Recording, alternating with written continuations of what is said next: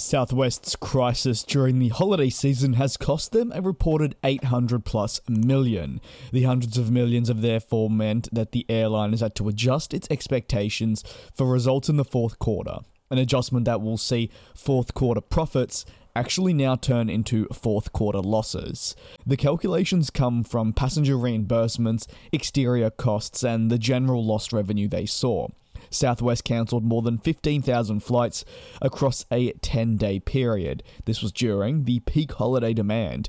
In addition, it was brought on by a severe winter storm, as claimed by the airline. With record lows and conditions that spiraled out of control, the operations at Southwest also, you could say, spiraled out of control.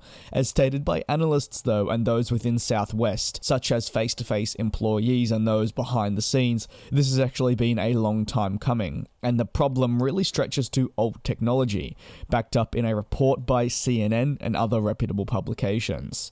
CEO Bob Jordan said that as a company we spend about 1 billion a year on technology and will continue to upgrade the tools and processes our employees use to serve you, our valued customers, and make sure those items deliver to our mission to connect people to what's important in their lives through friendly, reliable, and low cost air travel. We have a proud 51 year history of doing just that, and I'm confident we'll continue to deliver on this all important promise.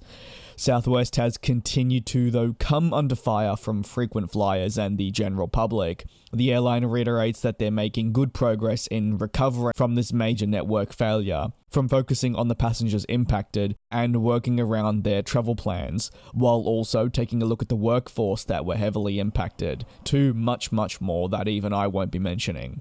Customers impacted by the disruption can also expect 25,000 frequent flyer points, labeled as a goodwill gesture by the CEO Bob Jordan. Southwest, though, will have a long way to go in terms of repairing customer relationships and more after the holiday meltdown. Trust doesn't come back immediately, and for some passengers, they may be looking at putting their business elsewhere for their next journey.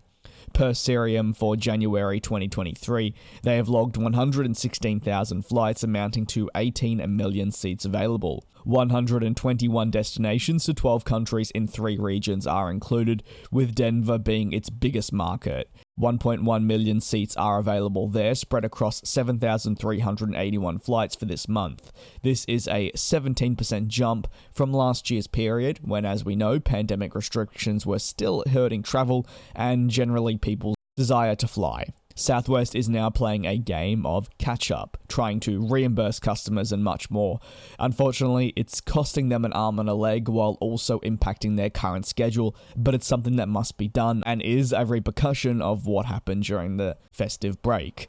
What are your thoughts on what's been unfolding at Southwest in the past couple of weeks? Do let me know down below in the comment section below. I'd be very interested to hear your take, as it's been probably one of the most talked about stories hitting the aviation world in a period that is usually relatively quiet as everyone goes away for a much needed rest. Thank you very much for watching. Do take care and be safe, and I will see you next time.